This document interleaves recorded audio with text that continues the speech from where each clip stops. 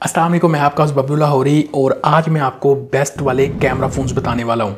अब ये best camera phone की वीडियो मैंने बहुत टाइम पहले अपडेट की थी, क्योंकि उस टाइम पे कुछ मिल रहा था। आज के हालात में मिल कुछ नहीं रहा बट मैं बना वीडियो इसलिए रहा हूँ, बहुत सारे कमेंट्स आते हैं। भाई, अगर कोई बीस पच्चीस हज़ार रुपये का भी मेरे से फ़ोन पूछ रहा है ना, वो साथ में मैंशन कर देता, भाई, अच्छे कैमरा वाला फ़ोन बताना। तो खैर, मैं बेस्ट पॉसिबल कोशिश करूँगा कि आज आपको जो अच्छे वाले कैमरा फ़ोन है ना, वो सुजेस्ट करूँ।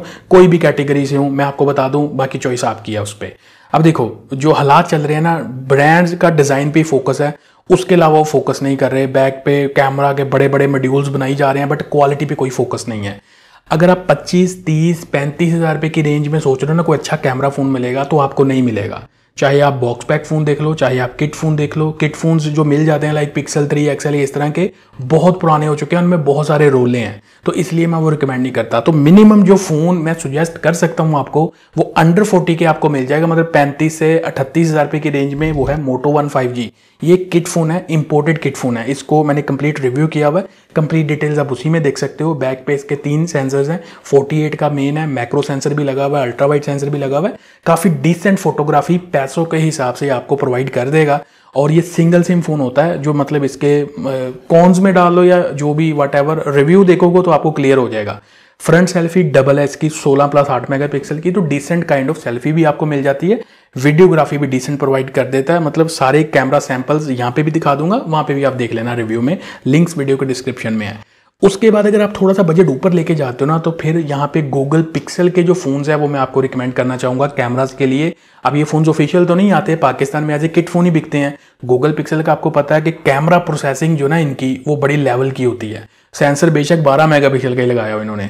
तो पिक्सल 4 एक्सएल को मैंने रिव्यू किया था, क्या कमाल की फोटोग्राफी है इसकी, और स्पेशली बैक साइड से जो 16 मेगापिक्सल का टेलीफोटो सेंसर है ना इसका, बेहतरीन किस्म के डीएसएलआर वाले जो पोर्ट्रेट्स हैं वो निकालता है ये।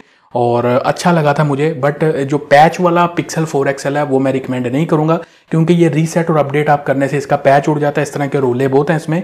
अगर लेना है पिक्सल 4 एक्सएल तो आप इसको नॉन पीटी में कंसीडर करो, साथ में कुछ सेकंड फ़ोन ले लो, सस्ते वाला सिम वगैरह को यूज़ करने के लिए, क्योंकि यही सोल्यूशन रह गया अब।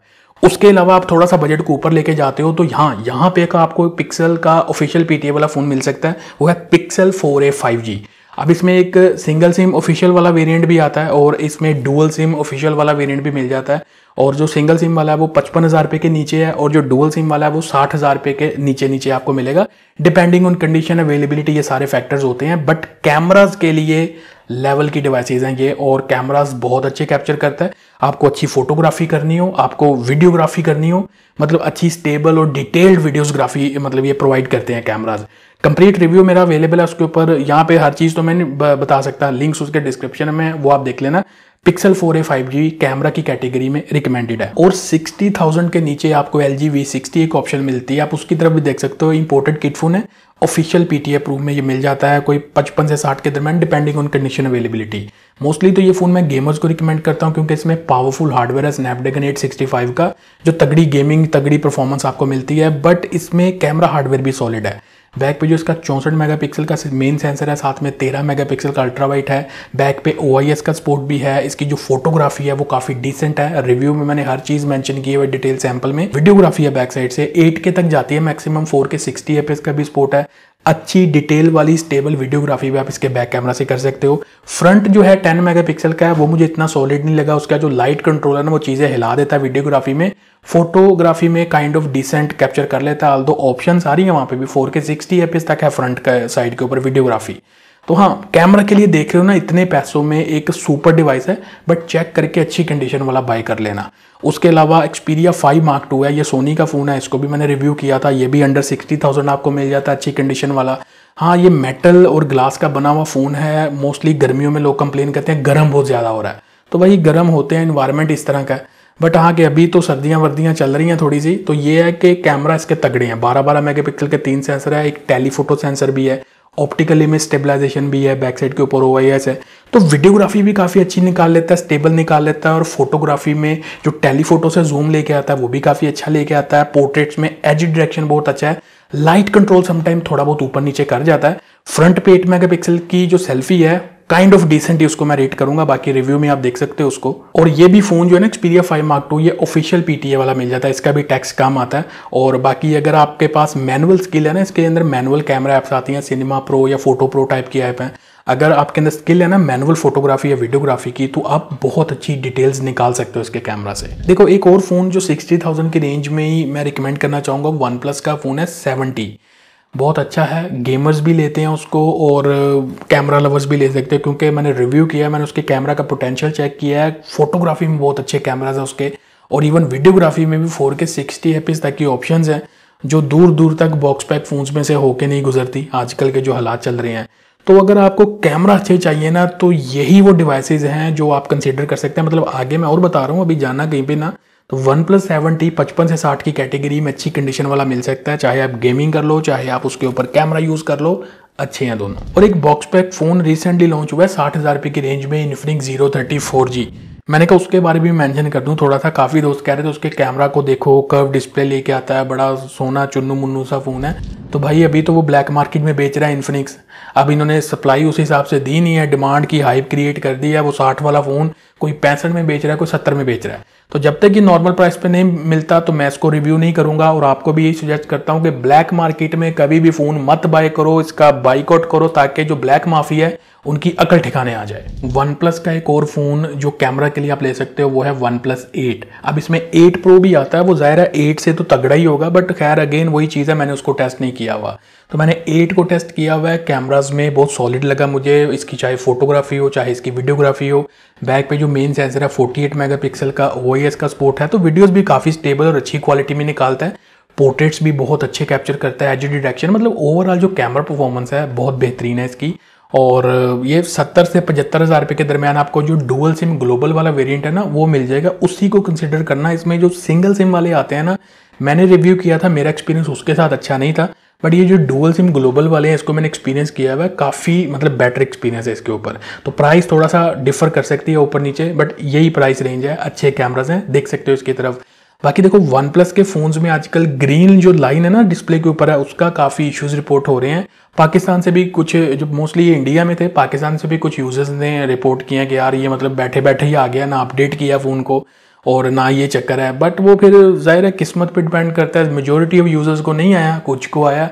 उनकी फिर किस्मत माड़ी होगी, उनको आ गया। तो ये चीज़ें बस माइंड में रखते हुए बाय करना। अगर खुदा ना खासा ग्रीन लाइन आ गई तो पैनल का ही खर्चा है उसके ऊपर। और काफ़ी कमेंट्स नीचे जो आने वाले हैं, भाई वन प्लस नाइन सीरीज़ कहाँ पे है, वो क्यों नहीं आपने सजेस्ट की?